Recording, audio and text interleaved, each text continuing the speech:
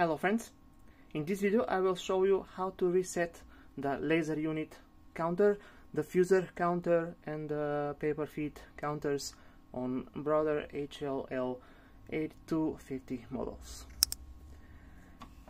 To get in, in the maintenance mode and reset the counters, press OK, go and follow times the up arrow and we are in the maintenance mode.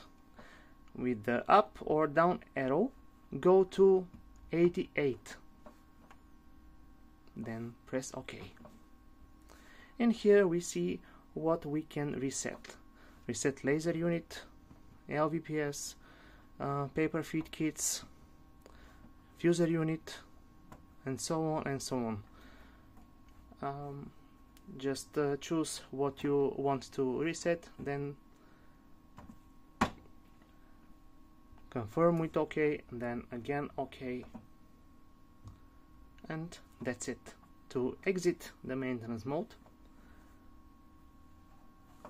press the cancel button then go to 99 then press OK it is rebooting and we are done. That's it. Thank you very much. Good luck.